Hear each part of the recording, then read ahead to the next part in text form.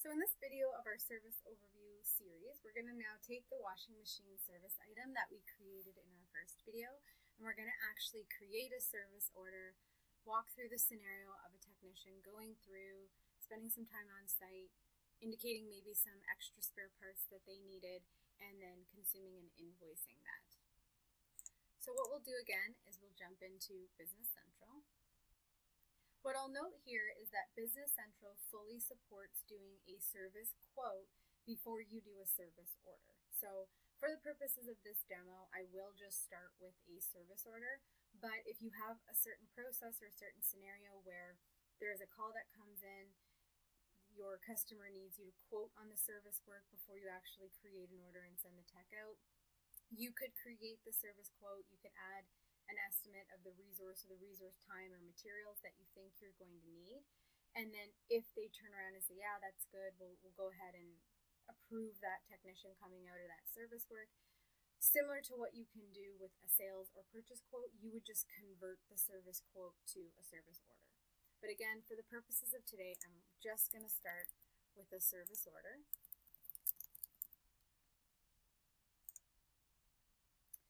So you get a call, I can go ahead and I can initiate a new service order.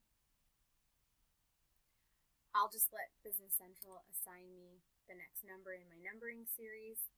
I can do a brief description. Maybe I have the washing machine won't spin. I can indicate the customer that's required. Now what's unique and important about this is that when I select the customer, so in this case, I'll select my first customer here. This is only going to, when I go to add my service item lines, it will only present to me service items that exist for that customer for that ship to.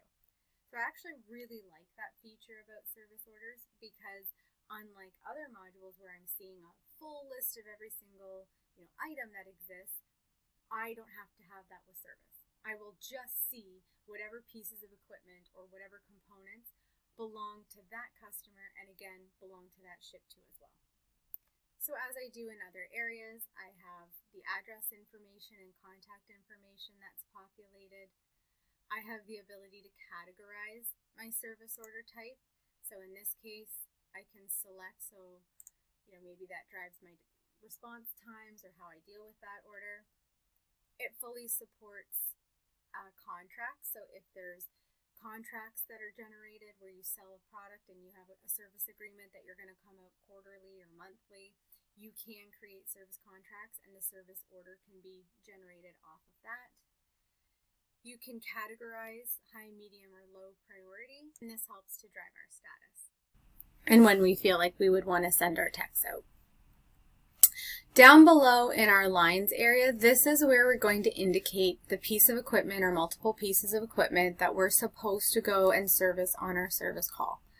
So if I click here on my three dots, I can again see only the service items that have been associated, as we can tell by this little filter, to that specific customer, to that specific ship to location. I'm able to see warranty for labor and parts. I'm able to see when those periods start and end. I'm able to see just like a little snapshot of information. So as it's been added to the line, I can see that this service item is specific to an inventory item that we have inside of our system. And that's really helpful because if let's say, for example, the tech goes out and they say, you know what, unfortunately, we just can't salvage this, we're going to need to sell you, in this case, a replacement washing machine. I would be able to see from my company's inventory what the, a good replacement washing machine would be based on what they bought previously. Service item codes allow you to categorize your service items. They also give you the ability that when you ship inventory items from a sales order, it could automatically create service items. I can see the serial number that's associated to this specific unit, which is very helpful to make sure that our techs are working on the right pieces of equipment. I can see here that I've got a warrant that these uh, the service item's still under warranty. If it were related to a contract, I can see the priority.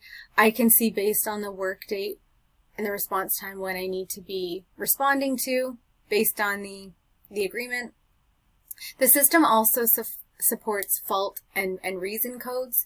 So you would have the ability to be able to indicate in the service module a series of questions that would help troubleshoot issues as customer service reps are dealing with customer calls. And this sometimes can actually just resolve the issue over the phone. But for now, what we're going to look at is if a tech actually had to go on site to work on this washing machine. So in this next portion of the video, we're going to focus on the service line so that we can indicate the details of that specific service call. So here we are again, we're back inside of Business Central, and under order, we're going to indicate service lines. So here I can see the service item. So again, I'm validating that I'm putting this work, uh, this extra inventory towards this specific unit. I can associate inventory items. So let's say I need to bring a replacement part or I need to bring components for my inventory so that I can fix the unit. I can do that and consume my own inventory. A resource would be the service technician or the, the people that go out and perform the work so I can bill for their time. You would have the ability to associate service costs that might be miscellaneous. So an example of that may be that there is a you know, a $50 diagnostic fee that gets charged just to go out and look at the washing machine just to make sure it's under warranty or just to make sure that it's something that uh, would be covered. You could associate a cost. And then again, you can actually even have that insert automatically when you create a new service order. And then you've got the ability to expense things directly to a GL. So again, an application for that may be that you need to hire a subcontract to do an electrical inspection, or you need to get a special tool and you just want to pass along the cost of that special tool or rental to the, the service. So any of these can can be supported and then of course you could turn around if needed and invoice the customer but at the very least you're able to see all the details of what was required for that call. So the first thing I'm going to do is I'm going to add an item. I'm going to indicate that I needed to bring some screws on site. I'm going to indicate how many screws I think I'm going to need so I'll put you know 25 screws there. I see the unit price that came in off of my item card. So I now see a line amount. Now what you'll notice here is that the math doesn't quite work. If it was 25 screws at $1, you would expect to see a line amount of $25. But because on this service item, I've indicated that there is a 75% warranty on any uh, parts that I need, the system is automatically calculating a 75% discount, and therefore it's giving me an $18.75 discount on this line. I'm able to see that this discount is being generated because of the warranty on the service item. And then over here, I'm also able to see that it's under warranty. So if you wanted to, you do have full visibility to be able to exclude that line from the warranty. And that just helps so that if later people are looking back and say, well, why did you charge me full price? You would be able to see that for whatever reason it was excluded. Maybe the diagnostic came back and it realized, you know what, this is actually a user error that falls outside of the warranty. This is really just the default, but of course you can change it if you need to. Now I'm going to indicate the technician that I want to go out. So I'm going to select a resource and I'm going to send out Marty and I expect that Marty's going to need to be there for four hours. You'll notice with Marty, he's got a unit price, but there's no line amount. And if again we scroll over, we can see that because for labor, under the warranty period, you've got a 100% discount. As mentioned again, if somebody realizes, hey, this actually falls outside our agreement, you can always update that.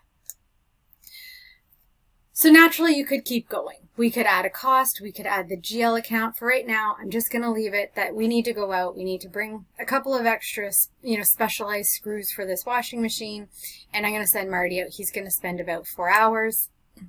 As you can, you can indicate, you know, the delivery date, when you expect to send that person out if you would like to. And then, as you can normally do, if you needed to, you can go ahead and you can send a confirmation of the service order so that you can let the customer know the work that you intend to do.